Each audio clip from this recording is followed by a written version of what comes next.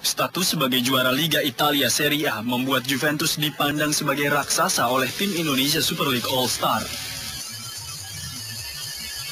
Kiper Arema Kronus Indonesia yang juga merupakan kiper tim nasional Indonesia, Kurnia Meiga, menganggap laga ini sekadar untuk menimba pengalaman. Meiga yang pernah tampil heroik ketika membendung serangan Belanda dalam uji coba timnas dengan tim oranye tahun lalu, agaknya tidak ingin mengumbar kepercayaan diri.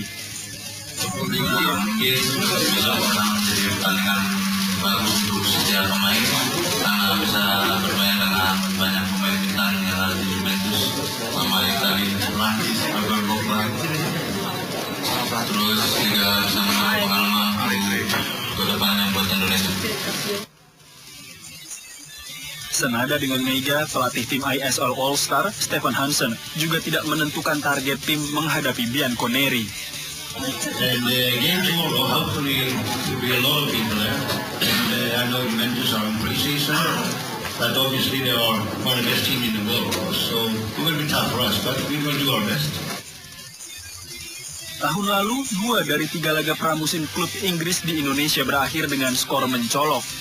Arsenal menuai kemenangan 7 gol tanpa balas, sedangkan Chelsea menang 8-1 melawan tim Indonesia dalam berbagai versi.